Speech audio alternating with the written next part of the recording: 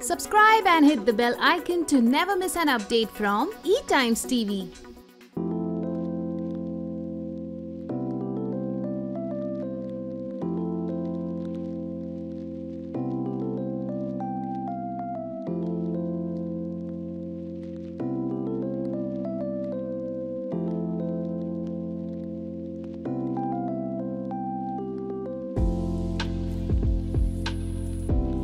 संजना बहुत ही बड़े कन्फ्यूज़न में थी अपने ड्रीम्स को लेकर और काफ़ी सारी चीज़ों को लेकर।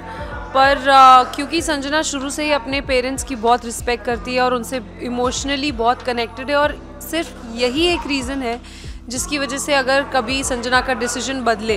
क्योंकि संजना वैसे अंदर से she is very strong but I think अपने पेरेंट्स का चेहरा देखकर वो किसी भी चीज़ के लिए हाँ कर देती है।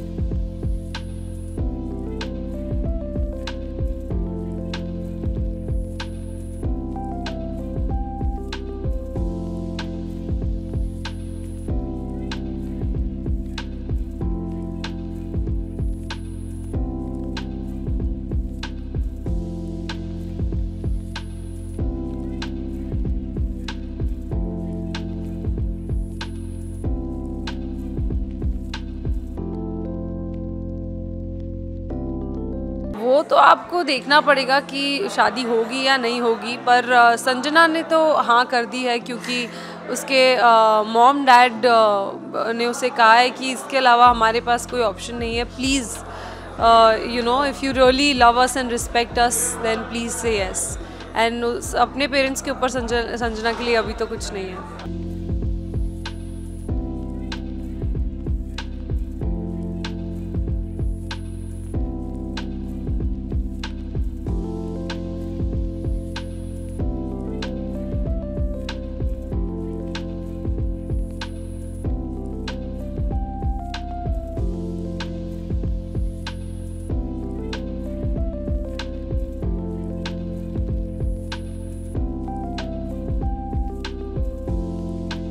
जी सो so बेसिकली कुछ आ, आ, थोड़े गुस्सा हो जाते हैं वो संजना ने जो आ, मना किया कि दस दिन में शादी तो नहीं करूँगी।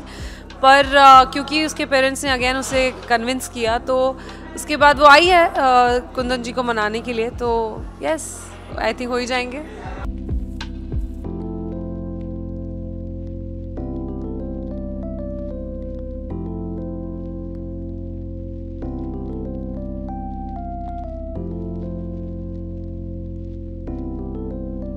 Thank you so much everybody for giving us so much love and uh, uh, so much love to all the characters in the show. Just keep uh, loving and supporting us. Thank you